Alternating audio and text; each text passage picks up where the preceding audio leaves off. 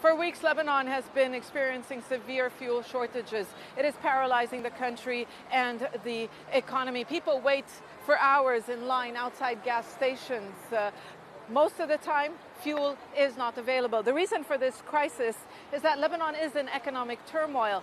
A few months ago, the government decided to subsidize fuel in order to avoid a social explosion. Uh, but now the central bank says it has run out of foreign currency reserves. The government's subsidies policy has been criticized because what has happened is that a black market has been created and many are smuggling cheap fuel and diesel into neighboring Syria. The government is trying to solve the crisis by gradually lifting uh, subsidies, but it is, it's not working.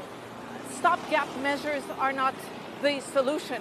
Hezbollah, which holds political power along with its allies in Lebanon, is now planning to import fuel from Iran.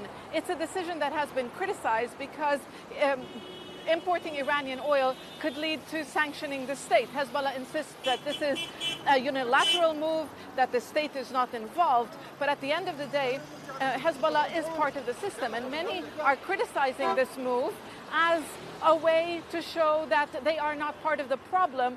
Hezbollah portrays itself as outside the state when, along with its allies, they control the state. Many will say the only way forward, a sustainable solution, is for those who hold power, political parties, politicians, agree to carry out reforms, to fight corruption, structural reforms needed uh, to resolve Lebanon's deep economic crisis. But doing that would mean that these political parties, in one way or the other, are committing political suicide because they lose their control over the state.